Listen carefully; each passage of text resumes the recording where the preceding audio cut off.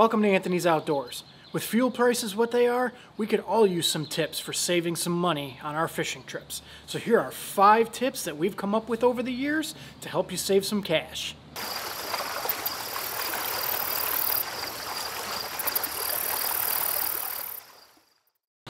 Tip number one, fuel cans instead of fueling up on the water.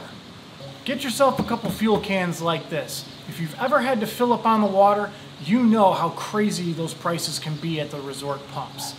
Topping off your boat and these fuel cans at a pump on land will save you anywhere from two to four dollars per gallon than filling up at those resorts.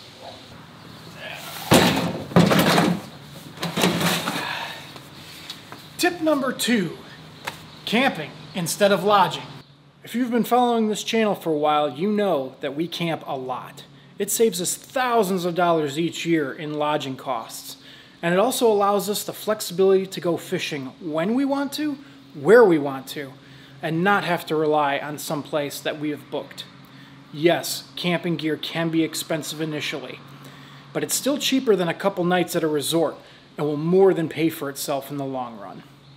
Hey, real quick, the channel has been growing fast over the last two months, and I want to say thank you to all those subscribers.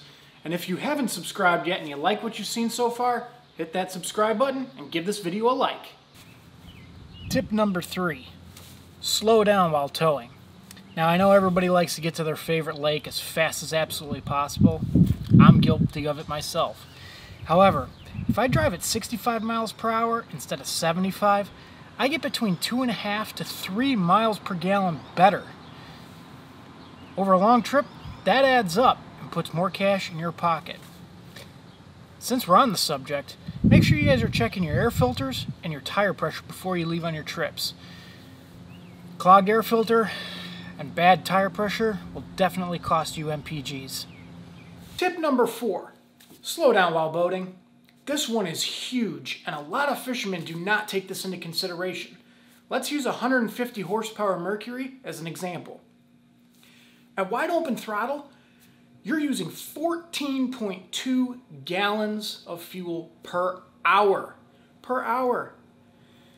Now, cut that down to 4,000 RPMs, and you're down to 7.2 gallons per hour, effectively cutting your fuel consumption in half. The key to fuel economy while boating is to get your boat up on plane and then adjust the trim of your motor so that you can cruise at that speed. I'll leave a link in the description below for you guys to go onto a website where I found this information and you can type in your manufacturer and your horsepower rating and you can click through all the different RPM ranges and it will give you a uh, printout of what your fuel consumption rate is. Pretty handy last but not least, tip number five, downsizing your gear. Now I know this next tip is gonna be really controversial for a lot of musky fishermen out there, but downsizing your gear can save you a boatload of money. Ah, see what I did there? This is especially true for you new musky anglers out there that are just trying to buy your first couple setups. You don't need a 9 foot Legend Elite rod and a 500 series Tranx to catch muskies. That setup before you add line is $1,100. Downsize your equipment. Look at uh, a St. Croix Mojo Muskie rod and say a 400 series Tranx. And that combo comes in around $490. That's a savings of 56%.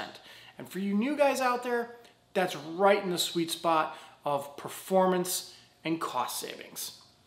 Well, those are my five tips for helping save you money on your next fishing trip. If there's anybody out there that has other tips to help others save money, comment down below. If you like what you saw in this episode, hit that like button and consider subscribing.